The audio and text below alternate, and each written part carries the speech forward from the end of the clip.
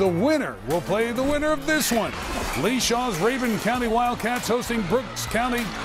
Fourth quarter, play of the game, Bailey Fisher, Austin Jones, 73-yard touchdown. Rabun County wins. Oh, there's some great highlights there. So the double A final looks like this. Hayfield Charter versus the Rabun County Wildcats. What a night. We got some more.